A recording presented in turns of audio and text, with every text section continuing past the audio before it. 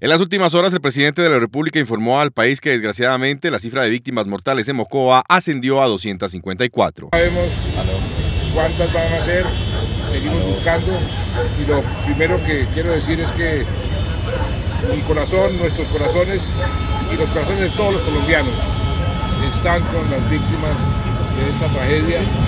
¿Qué sucedió? Anoche llovió 130 milímetros. Usualmente en un mes llueve aquí 400 milímetros.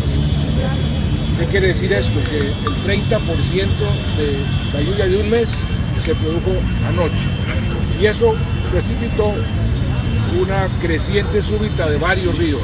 El río Mocoa, el Mulato, el Sanguyaco y las quebradas aledañas. Y eso produjo una avalancha. El presidente insistió en acciones conjuntas para restablecer los servicios de atención básica para la ciudadanía.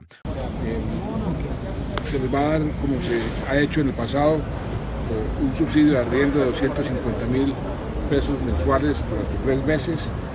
Hay un banco de materiales para que las casas que puedan ser eh, reparadas se reparen. Eh, y también inclusive fueron, fue afectado, aunque no mucho, la red de, de comunicación por celular, que también está siendo reparada, en estos momentos está en un 85%.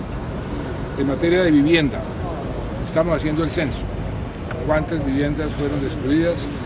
¿Qué familias? Para también hacer lo propio en materia de ayudarles a, a reconstruir o a tener una vivienda nueva. En las próximas horas, el presidente solicitará un nuevo informe de avances en la atención a las familias afectadas por el desbordamiento de los ríos en Mocoa.